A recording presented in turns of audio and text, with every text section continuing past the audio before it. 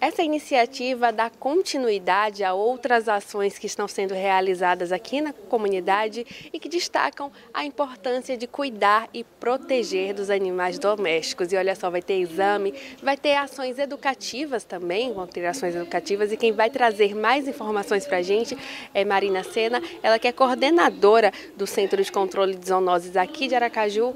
Marina, primeiro seja muito bem-vinda ao Jornal da Peripê. Eu já quero que você comece falando para a gente quais serviços que serão ofertados durante essa sexta-feira? Então, nós vamos estar disponibilizando o teste rápido de leishmaniose visceral canina, né, que é muito importante fazer para saber é, se o animal possui a doença ou não. É, é, um teste de triagem inicial e, nos casos reagentes, a gente faz um teste confirmatório que é, é levado o resultado posteriormente. É, com relação às outro, outras ações que estar disponibilizadas neste dia, vão ser é, os exames de extosomose também para pessoas. A gente vai estar com exposição de animais sinantrópicos e também a gente vai estar fazendo uma palestra sobre esses animais, principalmente os peçonhentos, para é, trazer mesmo essa é, parte de educação, de, de entendimento da população sobre quais são as medidas de prevenção e controle.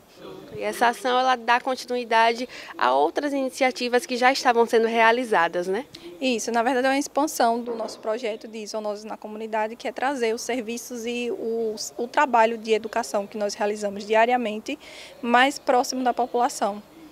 Pronto. Marina, muito obrigada pelas informações. Então, quem puder levar o animal, quem quiser, acontece nesta sexta-feira, dia 25. Vitória Costa para o Jornal da Peripê.